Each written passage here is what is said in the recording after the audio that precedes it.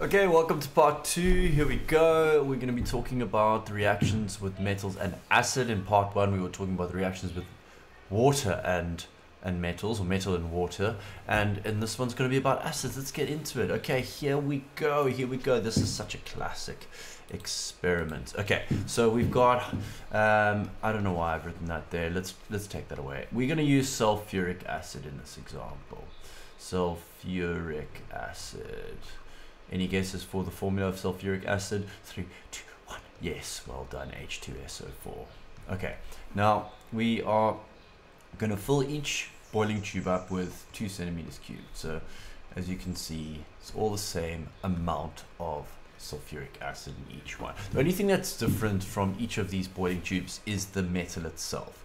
Everything else is the same. Okay, so what can we see? Just have a quick look at what's happening here. Which one's the most reactive?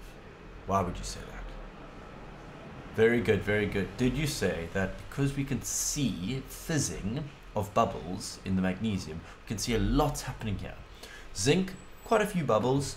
Iron, not really that many bubbles. And copper, there's absolutely nothing. Now remember, copper on the reactivity series list is below hydrogen. So that's why if you actually did take copper and put it with some acids, um, it would not react. It's not very reactive with with this, and that's why it's not reacting with the hydrogen that's inside sulfuric acid. Brilliant. So what we can do is we can make a little summary. If you had to do this experiment, you can make a little summary of what's happening in each of these boiling tubes. So we say that the the fizzing is something that you observe. So you need to use this word fizzing. You, you can say that is vigorous, vigorous. Okay, it's, it's like reacting, it's like going crazy. It's, like, um, it's going vigorously. If we had to light uh, the top of the speaker, it would make a popping sound. Okay, and that's because the hydrogen. That's because the hydrogen that's releasing. Um, sometimes uh, people say a squeaky, a squeaky pop. Okay, and if you had to feel this um, this test tube, it would be very hot. Okay, over here it is sort of a steady, it's not vigorous, it's a steady uh, reaction. There is fizzing. Excuse me, there is a squeaky pop as well, just like me a squeaky pop and this one's not that hot but we can say that it is warm. Say uh, let's give some um, some pointers or some observations. It's a slow reaction this one. There is fizzing. Um, it forms this sort of pale green color as well. It's important to note that with these ones these are, are colorless. Colorless. Also colorless yeah okay pale green. Uh, this one also becomes a bit warm. It's not it's not hot. And there is no change in this last one as we explained. So that is a reaction between four metals and dilute sulfuric acid. Now if you think about this we could design if this one's hot and this one's warm this one's warm um, we can actually do an experiment and we can see well which one raises the temperature the most. And we can set it up an experiment just to give you one more keyword that if a reaction happens and it gives out heat, it's called exothermic, gives out like exit the building, go out. This gives out heat. And that's why it gets warm. It's an exothermic reaction. So let's talk about that next reaction. What we could do is we could set something up like this. Okay, so let's do some labels. This is a classic experiment that you'll see in many exams. Polystyrene cup. You've got your classic thermometer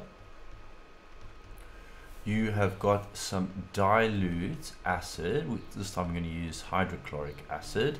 Um, we're also going to tell you what the concentration is. It's important to keep the concentration the same, so we can use one mole per decimeter cubed. Remember, this is the the unit of concentration. Don't forget that.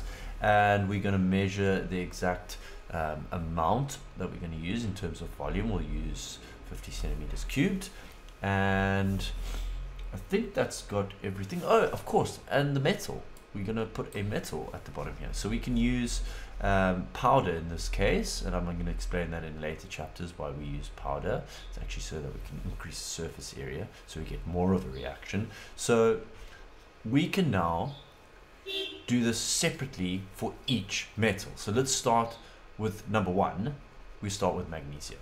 Okay, so we've got magnesium, and we are now going to measure the temperature. So what happens here is we before we put the powder in, we take the temperature of this of this of this hydrochloric acid, this dilute hydrochloric acid. Okay, so let's say we've got the first metal we're talking about is, is magnesium, and so we can make a little heading here. Let's make a little table. How about we make a little table? Okay, so we've got metal, and what we've got here is we've got the amount of the metal.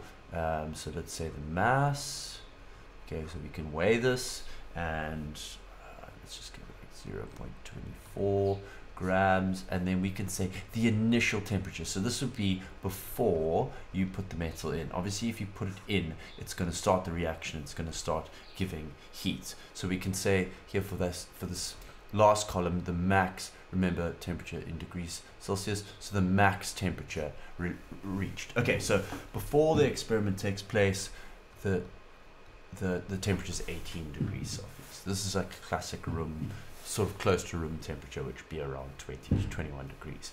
And then we do this reaction. We pour this powder in, boom, it goes inside. There's a crazy reaction. There's fizzing. It's vigorous. This is magnesium, and the temperature starts to go up. So this little red thing starts to go up. It starts to go, and the maximum temperature it reached was 40 degrees Celsius. Then we pour everything out, we clean, we take a brand new polystyrene cup, but this time, instead of putting magnesium inside, we put our second metal, which is, is zinc.